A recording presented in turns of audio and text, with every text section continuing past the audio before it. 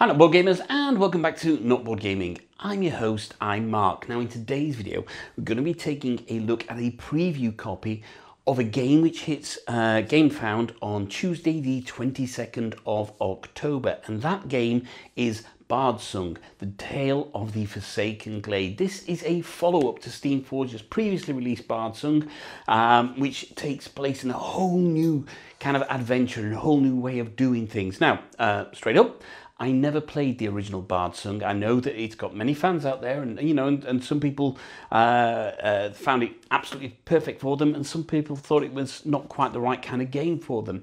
But what the Steamforged have done is they've kind of listened to a lot of that feedback, and they made a number of changes and amendments for this latest version of Bardsung. And I say it's a whole new adventure, whereas the original Bardsung took place in dungeons and it was very much a kind of procedural dungeon crawler. Certainly in the one level demo that I got from uh, from Steamforged here, it's taking place through various paths in forests, etc. Again, procedurally, you're going to draw cards, which are going to tell you what to place or what, what shape tile to place next, and it's going to create a totally unique experience for you each and every time that you play.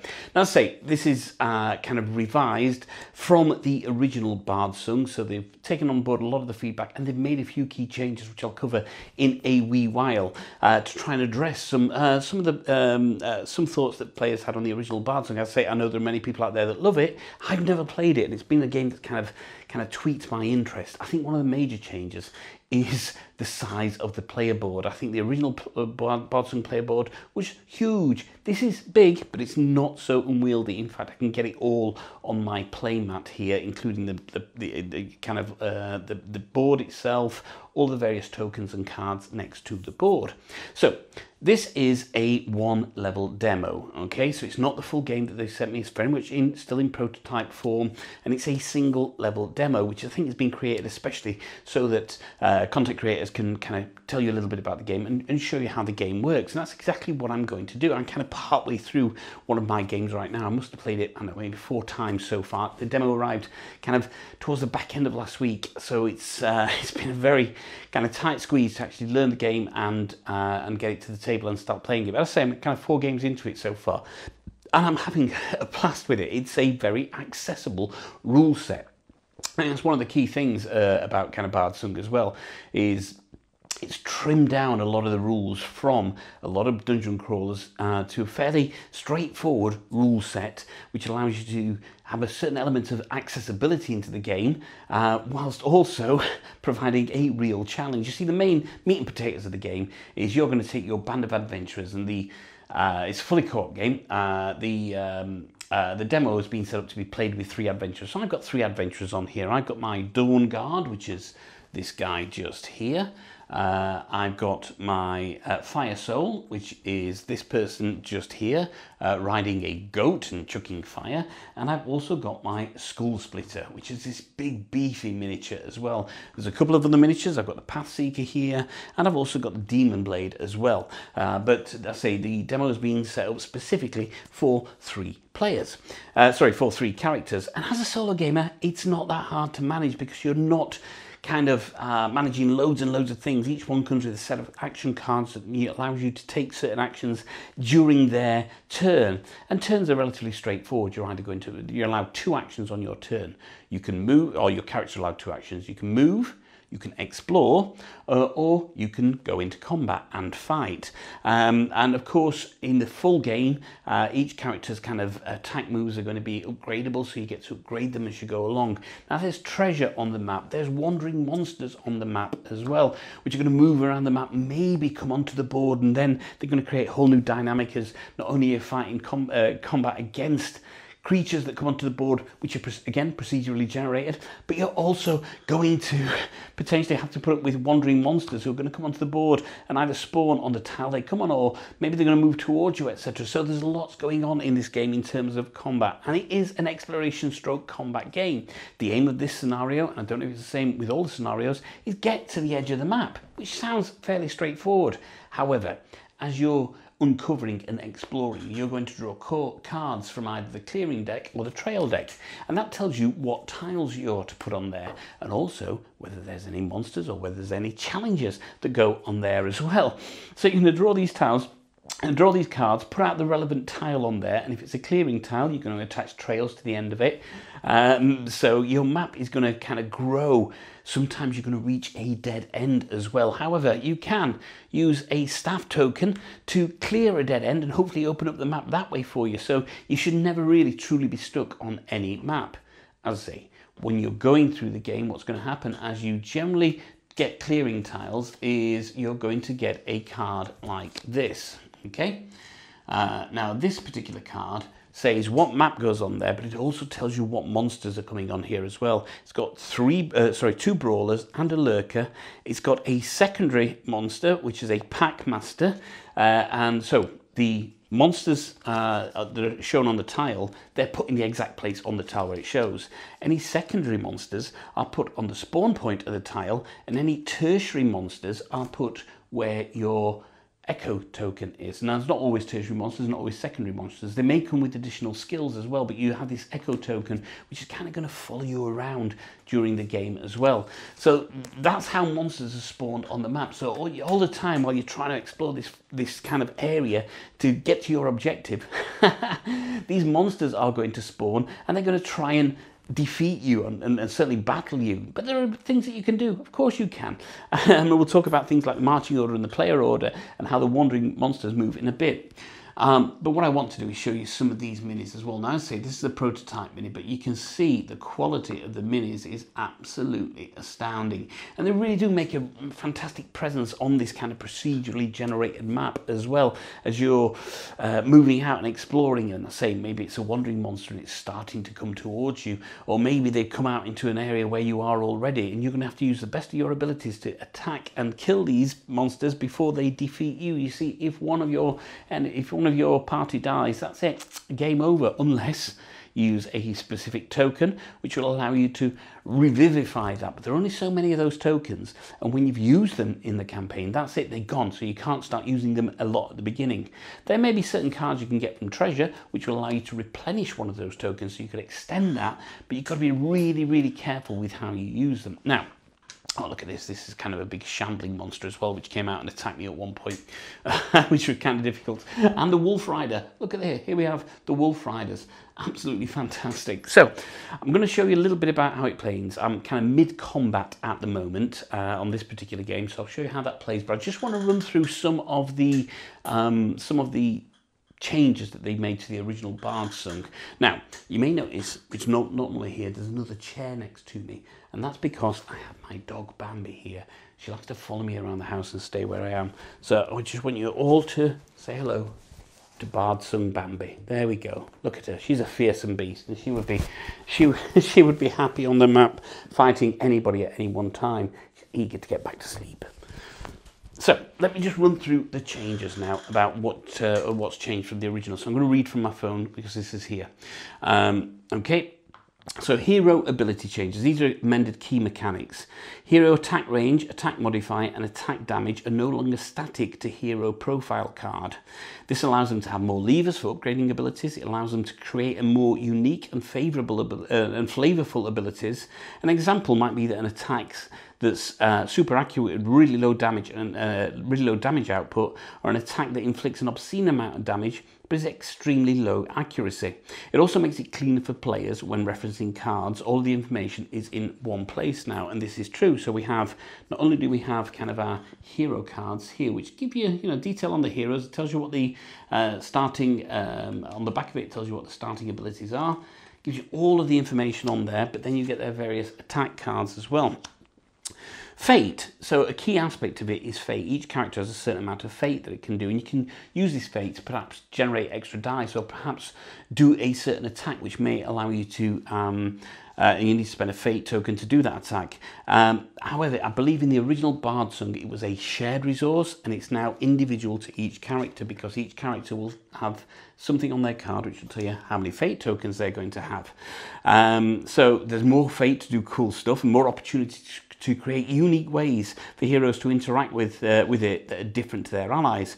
And it also heightens the teamwork element. This is something I'm getting out of this as well, is the ability to kind of use one character's to potentially know, attack or push or pull uh, a, uh, an enemy into or away from the fight, and then another character, if they're right in the marching order, to actually um, uh, to actually do that. Combat. So in the original one, you had your combat rolls, which were, I think, on a D20. It's now two D6s, and effectively, each of the bad guys has a toughness number up at the top, just there. You will roll 2d6 uh, dice, unless you've got something that allows you to do that. And if you roll above that toughness number, that means you're going to attack. It then tells you what dice to roll for that as well. So it kind of evens out the dice probability and it leads more into the use of an empowered fate spend. You see, these fate tokens, when you're attacking, you can also spend a fate token to add another dice in there as well. So really start about thinking about empowering your um, empowering your attacks. And it also allows them to do with, more with the dice themselves on certain ability effects. Uh, the combat puzzles have been enhanced, so there's less combats, and those that do occur are more involved and meaningful. Uh, enemies appear across multiple tiles, uh, expanding the playing area, which is obviously where the wandering monsters come in. Multiple front lines rather than a single tile scrum, that's absolutely correct as well. Enemies now have different behaviours based on different situations. You see, your enemies are going to come with a couple of maybe two or three symbols at the bottom, maybe more in the full game. And you have these kind of ability cards here, and you're going to follow these cards basically uh, what those uh, what those tech tells you to do. So each one, each enemy will have its own kind of unique build, and maybe it rushes into attack, or maybe it attacks within that area and then it retreats, or maybe it does other cool stuff as well. So those cards are going to drive that for you. Uh, this helps build combat puzzle for players uh, players to adapt and overcome, and it also allows a lot of variety in the enemies because of these these kind of symbols down at the bottom of the enemy cards just here. It allows these unique builds for it. Uh, there's a new Wandering Monster system. I've mentioned these Wandering Monsters. What happens at the end of every round, and a round is done by marching order. I keep mentioning marching order. I'll talk about that in a second. At the end of that, you're going to roll a d6. If that's a one or a two, which that is basically, I've failed the um, uh, I failed the Wandering Monster, so I have to roll for these Wandering Monsters. Each Wandering Monster on the board you can see it here has a uh, the number of dice, uh, sorry, one to six on there. You then roll the dice, okay? And the number that it is, it will move two hexes in that direction. So this one's moving away from the board here. However, if it moves onto the map just there, that's going to spawn a wandering monster. You're going to take a card from the wandering monster deck, and it may be a wandering monster, for example, if that had gone the right way, that would have uh, done a Tormented Soul. Or it may be uh, another card which potentially might not have any impact. So let's find one here. We've got Lost Blessing, I think it's called. Uh, Lost Rustlings, there we go. this does have an effect. It says here, spawn a stabber on a tile containing, containing the echo token and then discard this card. If all stabber models are already in play, after dealing new marching order, the stabber card uh, gains a token instead. So, so, you know, these wandering monsters are going to come and disrupt play. It's obviously easier to understand uh, than the original system and it maintains pressure and becomes more dangerous with more spawns as the encounter goes on and on and the playing area expands. So the longer the game takes, then the more chance you've got wandering monsters coming on there. There's an all new challenge system which removes the need for leveling up multiple characteristics on the off chance that they're needed. Uh, it allows for more flavour than a simple um, uh, toughness number dice roll and, uh, and now engaging for multiple players. You can add add in penalties or rewards for the number of players involved, and it interacts with changes to fate as well. And in the chapter designs, there are less nodes, there's more narrative and more variety in the types of nodes, uh, and a couple of creature comforts, kind of user uh, user comforts if you like. Um, there's larger text on cards with larger symbols and a reduced mat size, which I've already mentioned. So those are the kind of key differences between the original Bardsung and this in terms of rules. As I say, overall, the game is very different because you're now not confined to a dungeon, you're now moving out and about. So before we kind of jump into the game, I just want to talk about marching order now. So at the end, uh, every round that you play the game, you're going to have a marching order. If there are no enemies on the map, what's going to happen is you're going to shuffle just your three players, uh, your uh, your three characters cards, lay them out, and then that tells you who's going to go in which order. Once it's done, you tilt the card, and that's it. You tap the card, and you do it. And I say you're allowed to do kind of one of, oh, sorry, two of three actions. That's move, that's explore when you start expanding around the map, or that is uh, attack if you're in combat. However, what's going to happen as well is that if there are any baddies, so at the moment I have a stabber and uh, sorry, some stabbers and a wolf rider on the board. I did have more, but I say I'm partway through combat.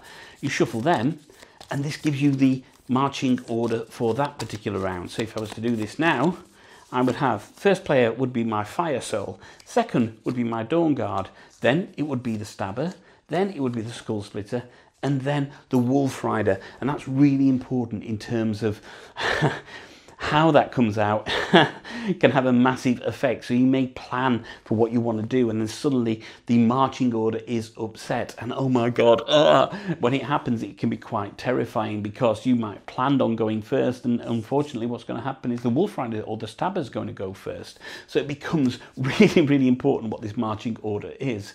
Uh, there's lots of cards. There are battle cards, uh, aspect battle cards, which come out at the beginning of a battle, and there are also challenge cards if they're identified. There are wound cards, which are two-sided, so you take a basic wound or a serious wound, which will have devastating consequences potentially, um, and you can build up wounds throughout the game. But if you take more wounds than uh, than what your morale is, then basically what's going to happen is your character is going to die. So you've really got to be careful of that and think about protecting. Uh, may not be the best thing to rush into battle. Maybe you want to start backing off from the battle if you're really at the back end of being wounded and letting one of the other characters kind of move forward. So as I say, I'm kind of midway through combat at the moment. Let's drop you down to the table, show you how combat works. Uh, I'll, I'll, talk a little bit about exploration as well and show you how that works, and then we'll come back up and uh, and yeah, and, uh, and and finish off talking about Bardsung, Tale of the Forsaken Glade.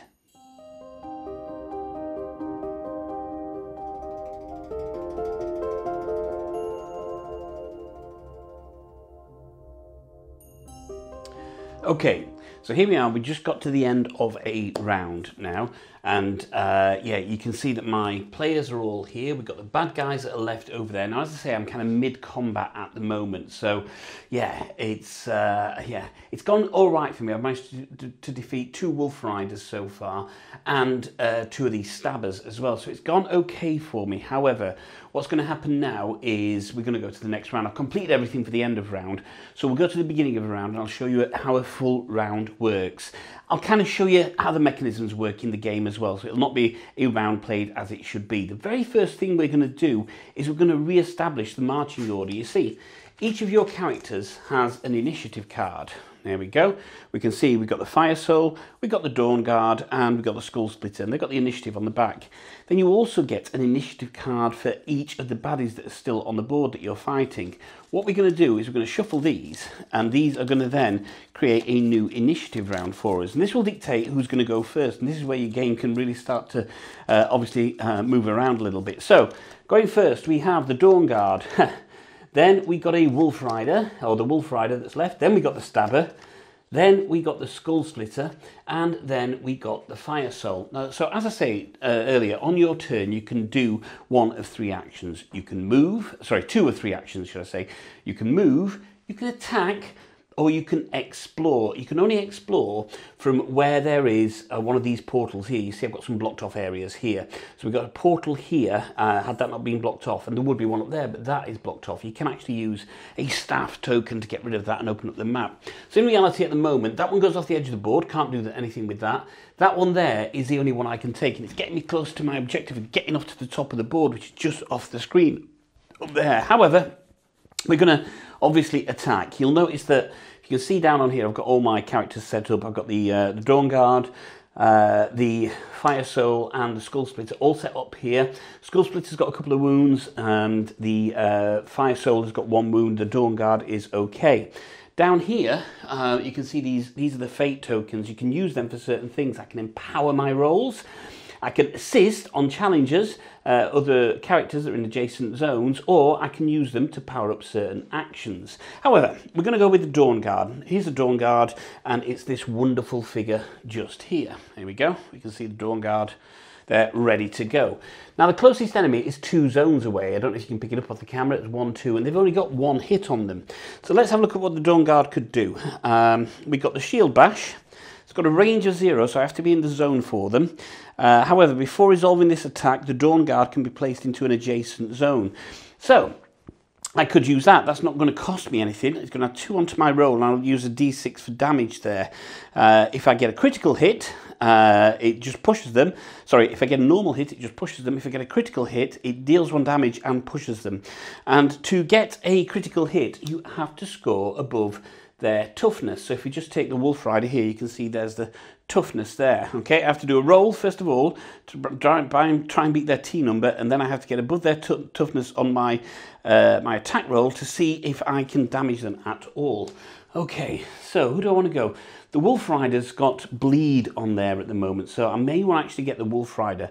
I'm going to have to use one of my actions to move. Now, the beauty about the game is having a look at what actions your players have got or your characters have got and seeing if you can interact them in one way or another. Unfortunately, the Dawn Guard has got a pull uh, push action, so maybe I can push him closer. In fact, that's what we're going to do.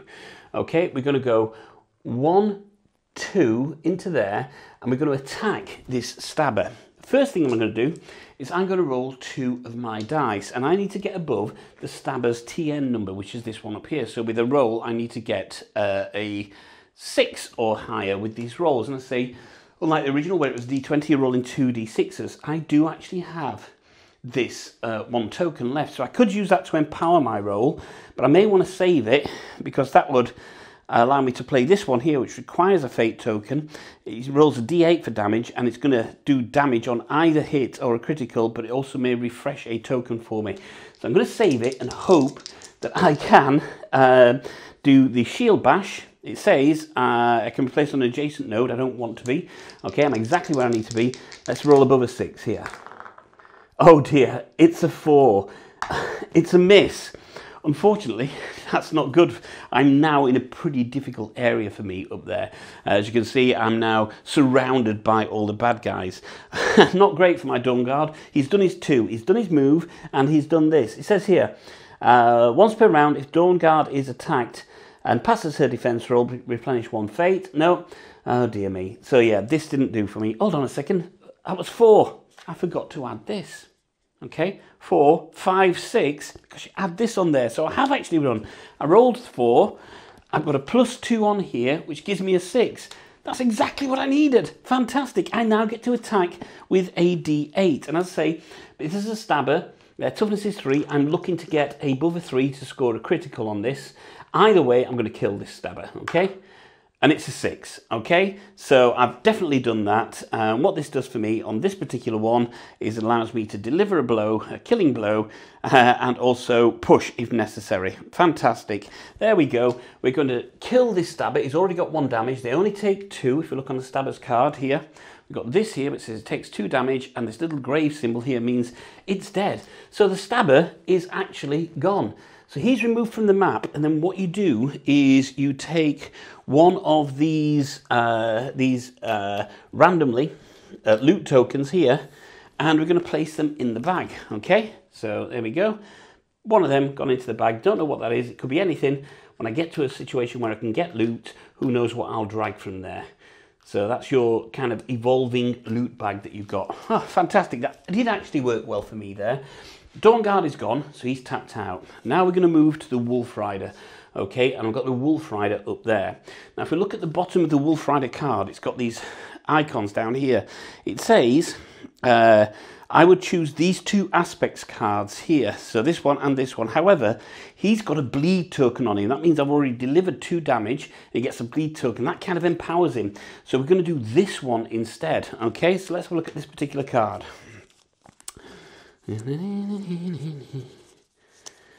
There we go. We've got this card here. That matches the symbol on the Wolf Rider because he's got the bleed token. Let's see what it says. It says, first thing he's going to do is going to attack each hero in the same zone. Oh, I'm a zone away. Then he's going to charge to an unengaged hero. Well, my hero is now unengaged, basically, uh, because there's no other bad guy in his zone. So here's what we're going to do. We're going to charge, and charge means that it moves up to its move there, and its move is, here we go, its move is four, and therefore I'm only one away, and that's fine. And it's going to attack me as well. Now, all the combat is hero facing. I don't roll for attack, I roll for defense. And if you look here at my Dawn Guard, okay, it says here, on defense, I get plus two. I'm looking to get equal to or more than 8 on my roll. If I do that, his attack misses. If not, it's going to hit me. Let's have a look at that. Oh dear. I rolled 3. Plus my 2 from uh, my defence here. That means I've only got 5. He's going to hit me uh, with an 8, so he's definitely going to hit me. Um, which I have nothing against there. So he's going to do a damage for me. What happens when, when you do a damage? Well, first of all, we take a wound card. So that's a wound card there. So he's got a wound card. Wound cards are two-sided. We have a standard wound and we have a more serious wound there. It's just a standard wound that's going to happen here. He can take up to five wounds. So he's still okay at the moment. Uh, that's not too bad. but yeah, he's hit me, um, which is not great. So he's done a, uh, a, a, bleed and a damage. So we've got a bleed token on there as well. Oh my God. Uh, it's not as good as what I thought it was going to be actually. Yeah, so he's done a bleed as well. So we got a wound and a bleed token on there as well. Yeek. Okay, so he's done his move. He's tapped out. Now we got the stabber. Okay, and the stabber, if we look here, he's got these two down here basically. He's got this symbol and this symbol. So we're going to pull those two cards out, and we have. That one, by the way, that we use for the Wolf Rider is called Frenzied. Okay, it's a frenzied attack. Uh, and we're looking here for the stabber. It's going to be that one first and then this one. Okay. So, look here, we've got the two cards. You do them in the order that's on the bottom of the card. This one's going to go first. Uh, he's going to attack a hero in the same zone. No, nobody there. Okay, so that bleed token needs to go there with him. Then he's going to charge an unengaged hero. Well, I'm engaged at the moment, so he's not going to come for me. He's going to come through here, and he can move up to two. Hmm. He's not quite going to make it one, two, and his range is, oh, his range is one. He is going to make it. So he's going to go one, two, and now is in range of my two heroes here of the uh, the fire soul and the skull splitter. So how does it do it? Well, it now does it in uh, initiative order. So it's going to go for the skull splitter here. So my skull splitter, who's already got a damage on him, yeah, it says if it attacked and fails his uh, defense roll, replenish one fate die. Okay, so that's okay. I'm quite all right with that. We're going to roll this. He's got a added defense of zero. And the toughness number on the stabber is six. So we need to roll above a six with two dice. Let's see what happens. We got nine. His attack has missed me. So nothing else is going to happen basically from that attack. We're going to move on to the second icon on here, which is the retreat. If this enemy is in the same zone as a hero, it moves up to the speed to the nearest zone does not contain a hero. If it does not have enough speed to reach a valid zone, it does not move. Well, it's a zone away, so that's okay. So that's the stabber's turn. Yeah, that kind of worked okay for me there, but that stabber is still a little bit annoying um, because he can still go. Now we're on to the skull splitter here. So look at the skull splitter. I've got one fate token left. All of his damage, all of his range is uh, zero, so I have to be in the same one. So my first move is going to be to where this stabber is. Now I really want to kill this stabber, okay? So we're going to do a finisher move here, okay? And this finisher move doesn't add anything onto the dice, but if I score a critical, it's going to score two hits. I just have to roll above a six with these two. So let's have a look what happens. It's a 5. Oh dear. Uh, that cost me a fate token because it's got a fate token on there. So all, my, all my fate tokens are down. Um, let's see. Once per round, the skull splitter can spend fate tokens to, uh, to perform an attack. I don't have it. I could have empowered it had I got more fate tokens. I could get more fate tokens by spending one of these tokens that would replenish them, but I haven't done that. So unfortunately, that hasn't done very well for me there. So now we're now down to our Fire Soul, who's the last one to go here. So the Fire Soul here, if we look, um, we got uh, one or more enemies defeated in the end of the phase by the burn condition. They give burn condition, uh, then replenish one fate. I could do this, which is instantly going to give them a fire token and give them a, uh, a hit, um, or maybe I do this Ember. I don't have to move, okay, because my range is two. So I'm going to do the Ember one to start off with, okay. So uh, I get plus one to my rolls. We know we've got to roll above a six. Let's see what happens. It's a nine, fantastic. Now there's special stuff that happens if you roll uh, doubles on there as well. Okay, so what's going to happen now? Because of my Ember, okay, and uh, I now have to see whether I get a critical hit on a d4. So I've got to get above a 3 on a d4 to see what happens. Roll that on camera. It's a 4. There we go. Excellent. Their toughness is 3. I've rolled a 4. I get to do 1 damage. There we go. And one fire token. That fire token is going to issue a burn at the end of their round for them. It's literally going to kill them at the beginning of their round. However, I've still got a move left. So I want, maybe want to attack again. Uh, now, you can't use the same card twice, so let's use this card. Uh, and uh, let's see what happens there. We have to spend a fate token for it. It's a range of one. I know I've got to roll above a six. It's a seven. There's no damage here. I instantly issue a fate, uh, a fire, uh, uh, fire damage to this, and because it's already got a fire damage, what that's going to do is deal it a damage, which means it's actually killed the uh, the stabber. That comes off the board, and we place another one of these tokens into the loot bag. Okay. So that is everybody done there. Now we're going to look at end of round effects, okay? What's going to happen is at the end of the round is we're going to resolve any condition tokens and effects. Well, nobody's got any burn tokens because they're gone. Had that burn token still been there, that would have killed that stabber, okay? Resolve any hero effects, there's none there. Uh, move the echo token. This is the echo token. If it's not in an adjacent square to uh, where your, uh, sorry, adjacent zone tile, sorry, to where your one of your heroes is, then you have to move it there. That's for tertiary. I should have said at the beginning of the round, I'll do this battle card, okay? And it says here, each time a hero is hit by an enemy attack, after resolving the attack, the hero suffers a, uh, a poison token, okay? So I forgot to give our little Dawn Guard a poison token. What does that mean? This is an end of round effect, right?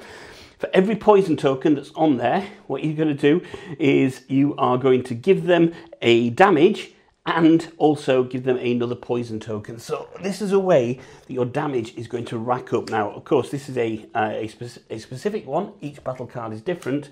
You can see that they've got them there, and we're going to rack this up with a few more poison tokens. So one, two, three. So keeping on top of this is really, really critical and key. Okay, so we've resolved that. We've done the end of round effects. Uh, we're going to make an event roll now. Remember, event rolls are, are kind of in lieu of what's happening around in the forest, basically. So when you have one of these wandering monsters, if it's a one or a two, it's going to move. Let's see what we do. It's a six. It's not going to move. But say I'd rolled a one or a two, which is this. I would then roll that die again and it would move two in that direction. So that would have moved onto there. We would have potentially spawned a new wandering monster or an effect from there. Um, we're going to deal a new marching order, resolve the other effects, and the round ends. So the new marching order, again, we're going to get these. There's no stabbers left now. So the stabber can go. And we're going to get these. And we would deal a new marching order. And the round would start again. I can safely say that looking at that, the Wolf Rider is probably going to die on the next round. So I've shown you move, I've shown you combat. The only thing I haven't shown you is explore. So let's say, for example, we were taking an explore action. And uh, I don't know if you can see, I'll just move that up. Here we go, I've removed this blocker off here. Um, we're taking an explore action. I'm on a trail, so what you do is you would draw a clearing card, okay? And it tells you what is going to go on there. So which... Uh, which one is going to go on there. And I'm just going to find the right tile, just bear with me. Here we go, it's this one, all right? So it's this particular tile that's going to go. you can move that in any orientation. Well, good, because that actually gets me to the top of the board there. However, I would have a brawler, uh, sorry, two brawlers to add. I would have a lurker in a secondary position, which would be on here. I would put a pike monster, and here a tertiary position, which is where the echo token is, would be two stabbers as well, which would have a particular um, a particular trait to them as well. So you can see that this is the way that the game ramps up. Although that is affecting my last tile, it's purely random that I pulled this out, which means that I'm going to have to do decent combat to get off there. What you also do as well is because you put a clearing down, you can see there's a couple of routes going off here, a couple of portals going off here. You draw a trail card for each of those, and then you would add the respective trail on there. So this would be, this one would go off there. Boom. I'll just put that on there so it does that. And then there's another portal coming off there. This would be this one going off here. Okay, So you can see this is how the board kind of opens up. Now I've got paths now off the edge of the board, which would end the, cam- uh, end the encounter for me, so end the, end the game for me. If I can get through there, I'd have to load that with bad guys, and that's how it goes. But sometimes these will have challenges on there as well. Uh, and if there is a challenge that happens, you would read the text on the card. Uh, let's see, this is a good one, okay? Place this card next to this tile.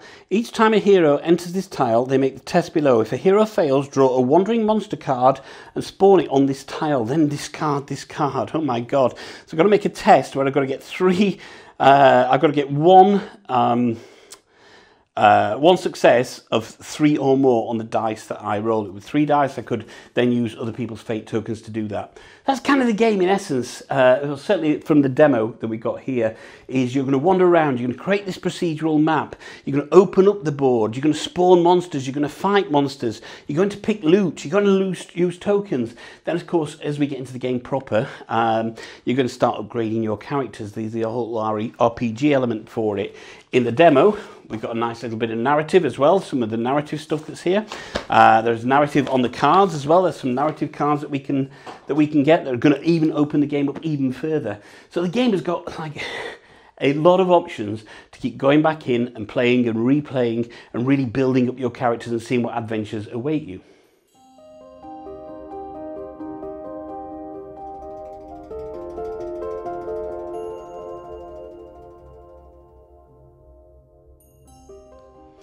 And there we go. That is a pretty brief overview on the demo copy of uh, Bardsung Tale of the Forsaken Glade that I received from Steamforged Games.